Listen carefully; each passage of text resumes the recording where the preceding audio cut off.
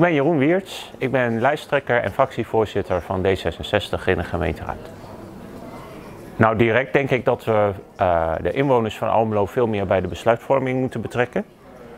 Uh, en wij willen bijvoorbeeld uh, wijkbudgetten, zodat mensen in de wijk bijvoorbeeld in een commissie samen kunnen besluiten over hoe dat budget besteed moet worden in hun eigen wijk.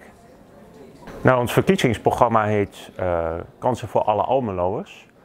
Dus we vinden dat iedereen de kans moet krijgen om mee te doen, gelijke kansen om mee te doen. En wij hebben drie punten in het uh, programma.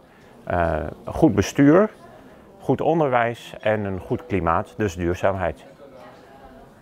Nou, het resultaat moet, maar dat zegt ons verkiezingsprogramma ook, kansen voor alle Almeloos. Dus iedereen moet de kans hebben om mee te doen. Uh, dus bijvoorbeeld inderdaad meer mensen aan het werk. dat zou het resultaat denk ik moeten zijn. En um, nou ja, ook dat mensen tevreden zijn, meer tevreden zijn over de zorg die ze krijgen. Uh, dat soort dingen. Dat soort dingen.